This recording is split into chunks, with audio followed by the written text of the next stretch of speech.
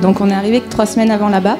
Et au reco, je, me suis fait peur, vraiment, parce qu'il y avait beaucoup de neige encore. Il y avait personne qui était passé, qui avait fait les recos. Et Adrien me posait un endroit à me récupérer à d'autres, parce qu'il n'y avait pas d'échappatoire.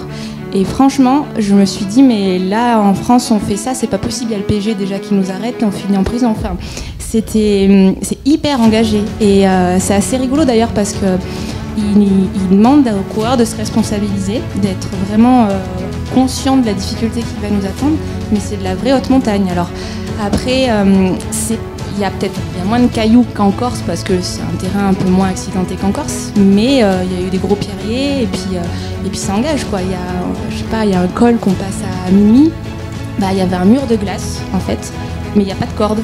C'était trop facile de mettre une corde et, ben, clairement on tombe, on tombe.